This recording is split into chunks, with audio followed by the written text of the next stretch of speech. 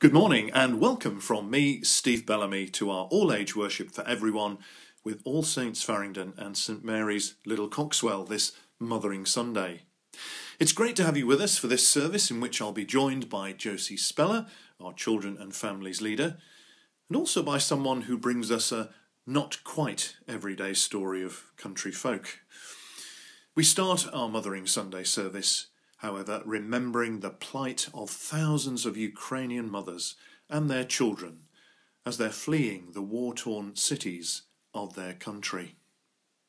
We have the chance to do something really practical to help them this Mothering Sunday. Please go to the Sanctuary Foundation website at sanctuaryfoundation.org.uk, scroll down the page to the Mothering Sunday section and today there's a special appeal in which Sanctuary Foundation have joined up with Baby Basics, which aims to provide refugee families with the essentials of life, from buggies and cots to toys and shampoo and toothbrushes and pyjamas and so on, by clicking on one or both of two wish lists, one called For Common Good and the other is an Amazon wish list, you can actually buy a gift that will go straight to a refugee family. There's lots to choose from, and you and your family could share God's love with a Ukrainian mum and her family by buying a gift that will help them as they settle in the UK and take sanctuary from this awful war.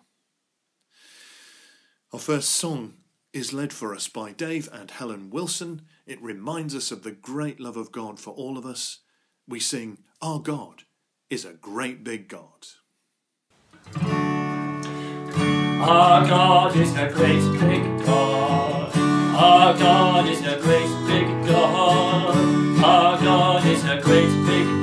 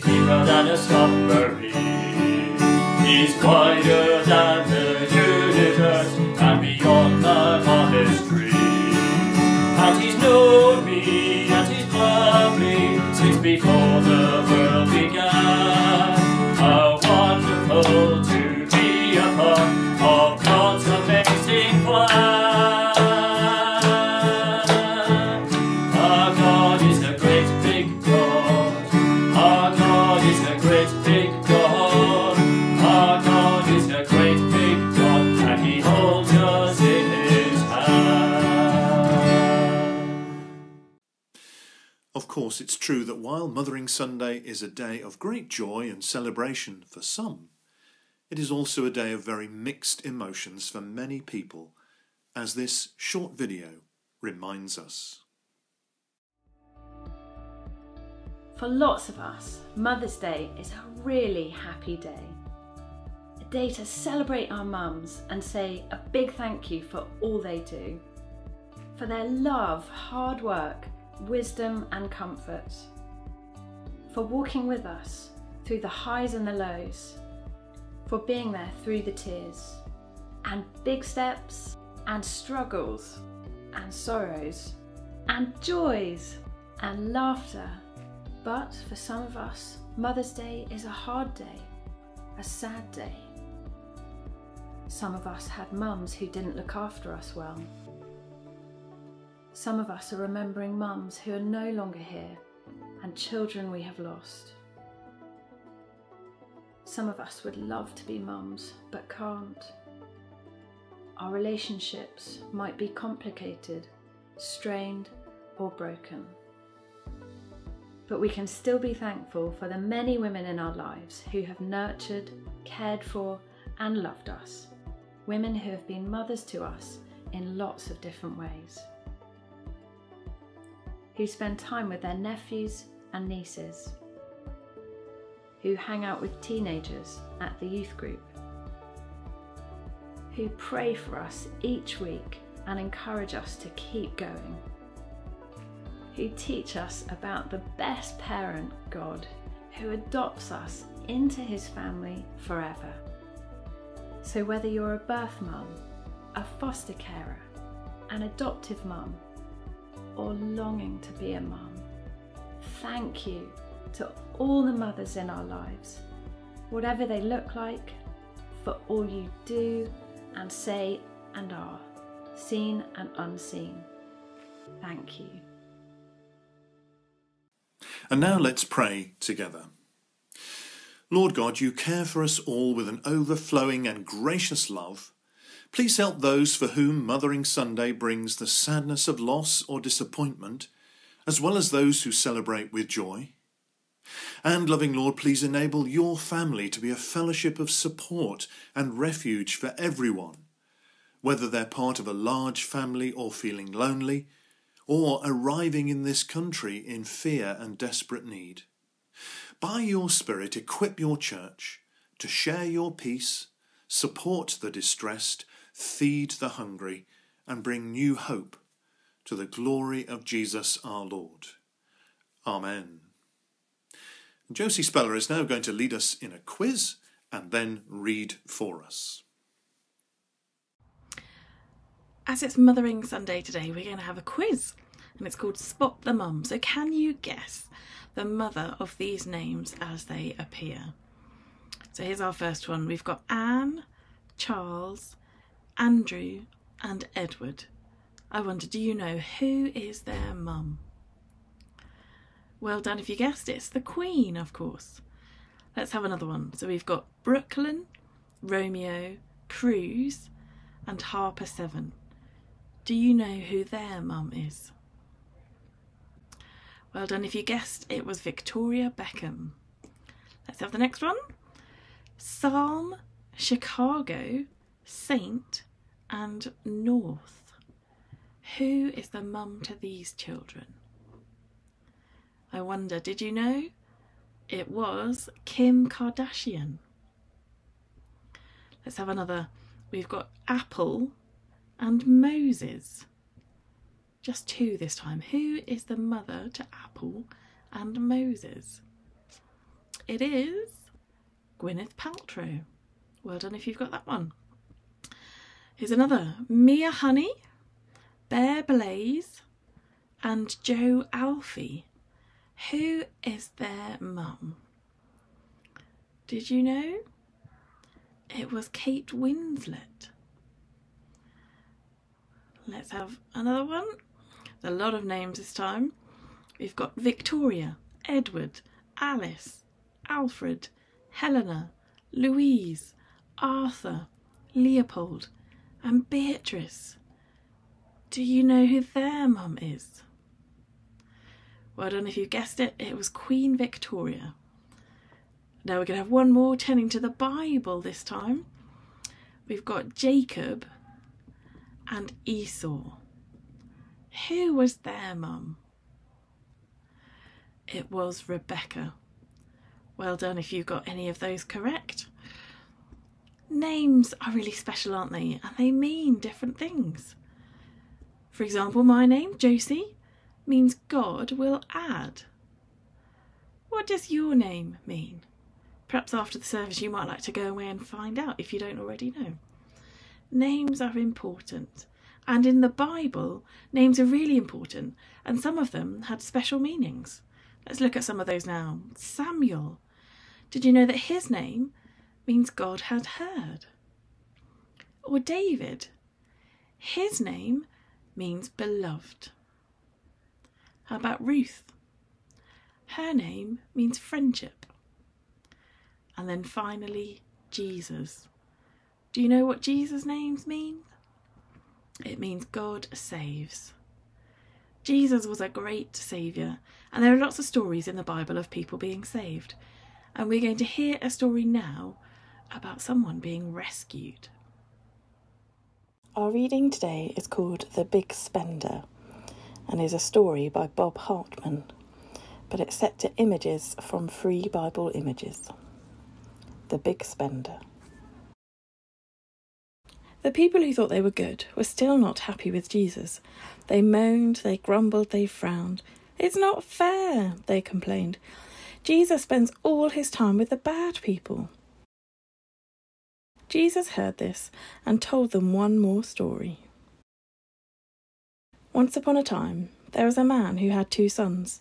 He loved them both very much. But one day, the younger son came to him with a sad request. Father, the younger son said, when you die, I will get part of your money and part of your land. The problem is, I don't want to wait. I want my money now. It was all the father could do to hold back his tears. But because he loved his son, he agreed and gave him his share of the money. That very day, the son left home, money in his pocket and a big smile on his face. He didn't even say goodbye. The father just watched, wiped away a tear, and hoped that one day he would see his son again. The son travelled to a country far, far away and spent his money just as fast as he could. He drank, he gambled, he used his money to do many bad things, until finally the money was gone. The son looked for a job, but the only work he could find was taking care of pigs. It was hard, dirty work, and he was so hungry sometimes that he thought about taking the pig's food for himself. He was miserable, lonely, and sad. And then one day he had an idea. The servants who take care of my father's animals are much happier than me. I'll go home, that's what I'll do. I'll tell my father how sorry I am for wasting his money, and maybe, just maybe, he'll let me become a servant and work for him. Now, what do you think the father had been doing all this time? Did he say to himself, I have my elder son at home with me. Who cares if my younger son is gone? Of course not. He loved his son, even though he had gone far away. And every day he would go out to the roadside and watch, hoping his son would return. That's exactly where he was when the younger son hobbled home, poor and hungry. The father ran to his son and hugged him tight, and the son dropped right to his knees. Oh, father, he cried, I'm so sorry. I have wasted all your money and am no longer good enough to be your son. Don't be silly, said his father. You are my son. You will always be my son, and I'm so glad to have you back. Then the father lifted his son to his feet and walked him home. He dressed him in beautiful clothes. He put gold rings on his fingers, and he threw him a big welcome home party. When the elder son came home from work that night, he heard the party noise. What's happening? he asked. And when a servant told him, he was filled with anger and ran to his father. It's not fair, he shouted. I've been a good son. I've worked hard for you all these years, but he was bad.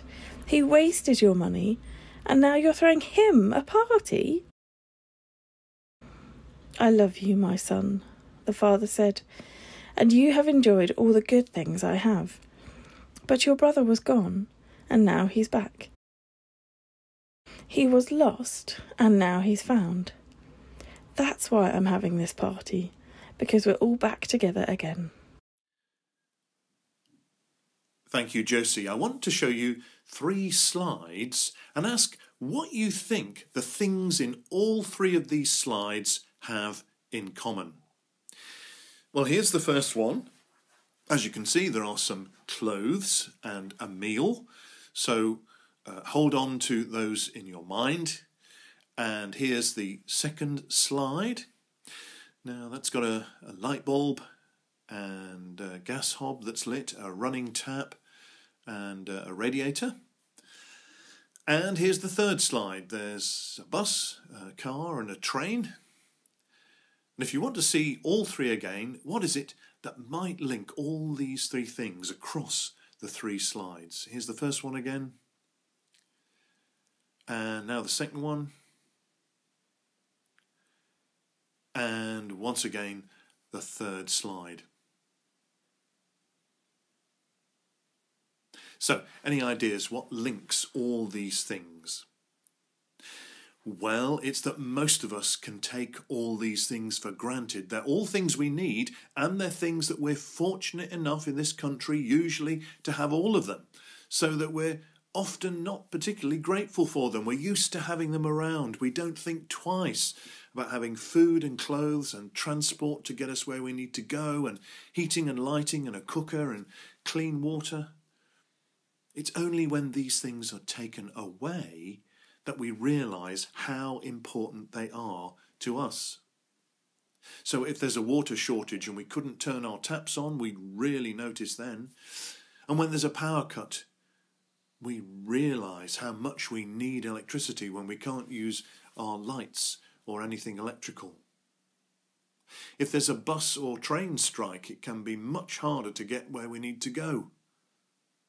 When we're used to things being there, we can take them for granted and forget how important they are and how fortunate we are to have them. But it isn't simply things that we can take for granted. We can also take people for granted, especially the people who love us. Jesus told a story about a young man who took his family for granted, and that was the story that Josie read for us earlier. Well, the young man from that story has gone a bit older. So let's hear from him now about what he remembers about taking for granted when he was younger.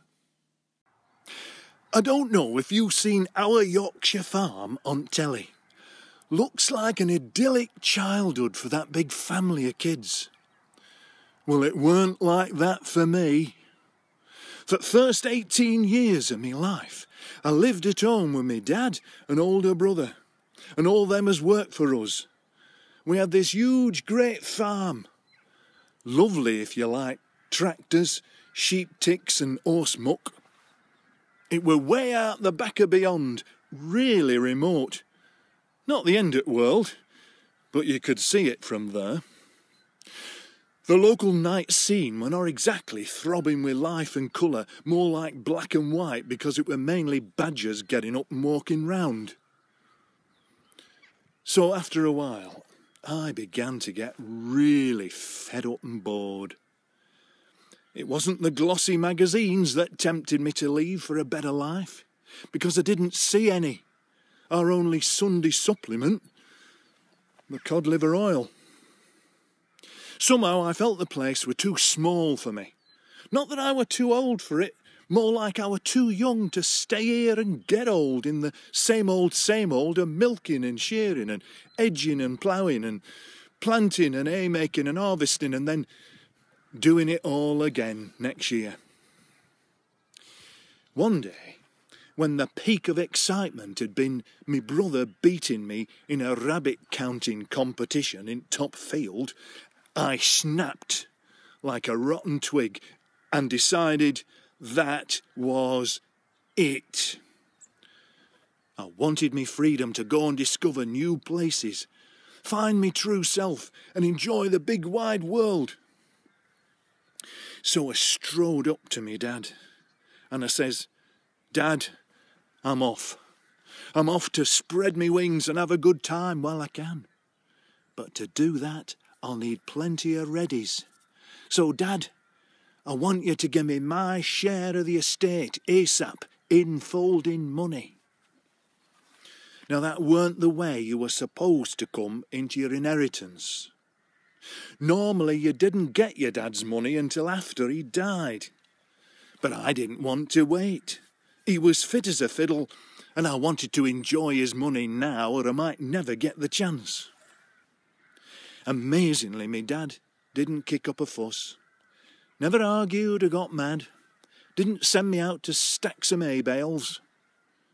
But with a distressed look on his face, bit like he'd sipped some sheep dip, he set about dividing his property between me and me brother, and then selling off my share so in a few days he'd got a huge wadge of cash to hand over to me. No sooner than it were mine then I packed up, left home, and went off to sample some foreign culture and find some new friends that only had two legs. At first, it were absolutely amazing. Money opened more doors than any keys ever did. I had a fantastic time living the high life on my dad's money. Penthouse parties, drinks, girls, more parties, fun, fun, fun, sand, sea, sun, and fill in the gaps. Yeah, sangria. I was free to do what I wanted to do when I wanted to do it. No need to fit in with family or be held back by them.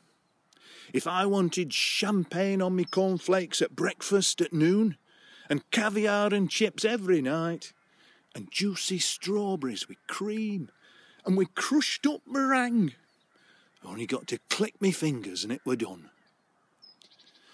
But then, just like I'd run out on me father and me family, me money did same thing on me. It ran out rapidly. So the fizz went out of life. No more Eton mess, just a mess. And soon, not much eaten either, because to make things worse, the crops failed, a rubbish harvest meant I had no food to eat, and my new best mates were no longer picking up or returning me calls. None of them stayed in touch to offer me a loan. I was just that alone. I managed to get a job, but it were definitely unskilled, and as jobs go, it were the lowest of the low, feeding pigs. Really scraping the barrel. Actually, I'll admit I was so hungry that I looked at the mushy sludge I were feeding the pigs, and I wanted to scrape the pig food barrel and share their menu. But there was too much foreign culture mouldering away at the bottom. As I was feeding the pigs one day, my mind went back to my dad. He was such a kind and loving dad, and so generous. I knew that the people he hired to work for him were fed really well, three square meals a day and plenty to spare. And then I knew. Penny dropped.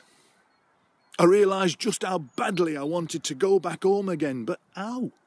How could I go home as a son after treating me dad so badly? I reckoned I'd have to ask him to take me on as a hired hand, zero hours contract, whatever. After, that is, I'd said what a mess I'd made of things, and I was so sorry for the way that I'd treated him so wrong. So I headed back home. And as I came over at Browerville, I could see someone in distance stood at gate right on edge of our land, scanning the horizon with his hand up to the sun. He jumped up and down and started waving when he spotted me, and he launched himself up the track, legs pumping like he'd have shot past Usain Bolt. He'd not moved so fast since Bull got him in its sights in Cowfield.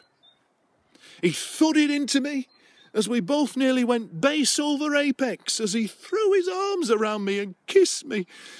And I stuttered into me prepared speech as the tears ran down his face and mine. Dad, Dad, I've sinned against heaven and against you, me dad.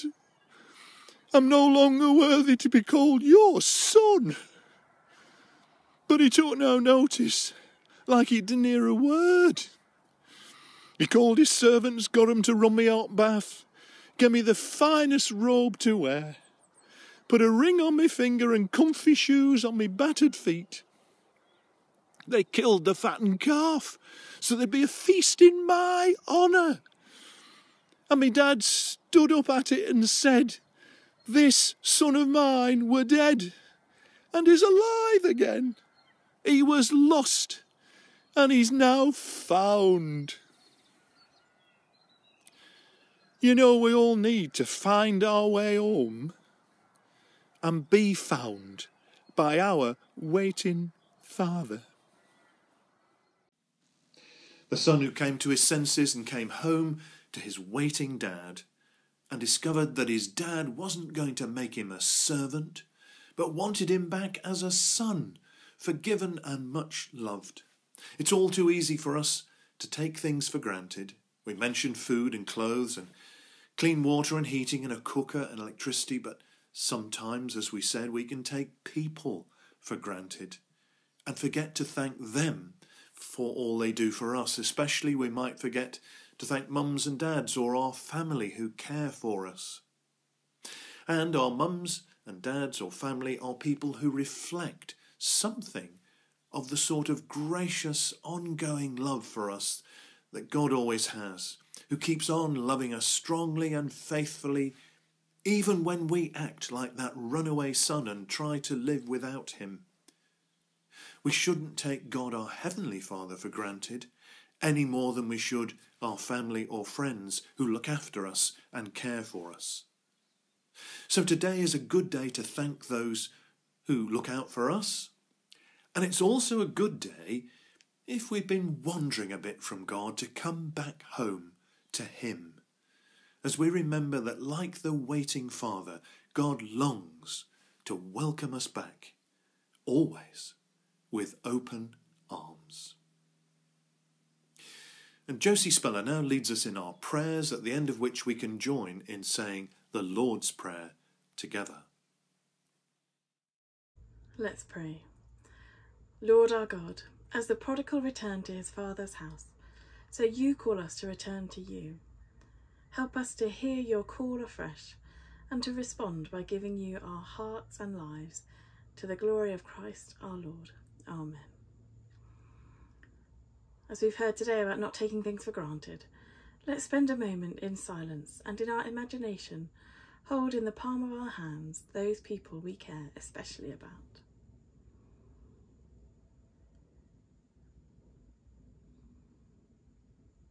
In Jesus' name we pray.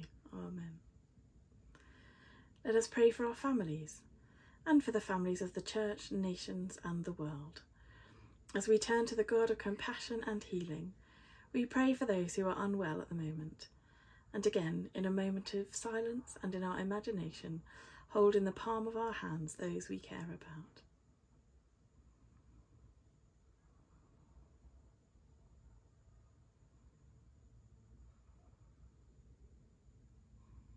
In Jesus' name we pray. Amen.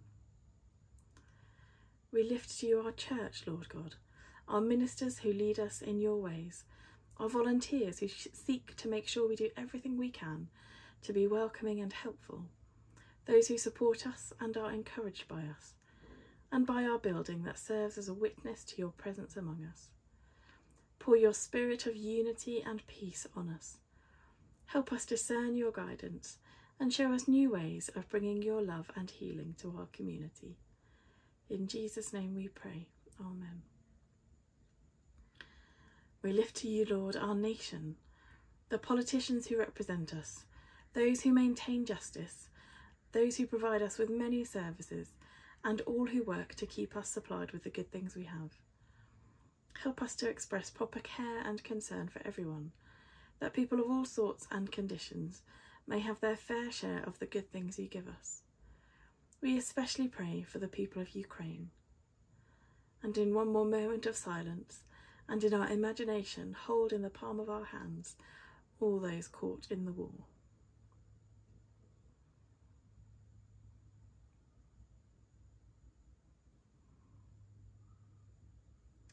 In Jesus' name we pray. Amen.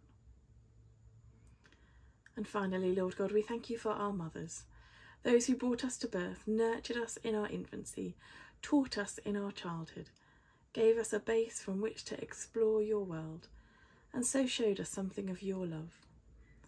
We pray for those who have difficult relationships with their mothers, and those who've lost their mothers. Comfort children of all ages who are particularly sad today on Mothering Sunday. Help us to appreciate our mothers properly find ways of being a practical help to them, and reflect back to them something of the great love of Jesus Christ our Lord. Amen. Let us finish our time of prayer by saying the Lord's Prayer together. Our Father in heaven, hallowed be your name.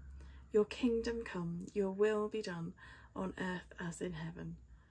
Give us today our daily bread. Forgive us our sins as we forgive those who sin against us Lead us not into temptation, but deliver us from evil. For the kingdom, the power, and the glory are yours, now and forever. Amen. Our last hymn is a version of Mary's song, who praised God as she knew she would be the mother of Jesus, the one coming to rescue us and bring us back to God. We sing, Tell out my soul, the greatness of the Lord.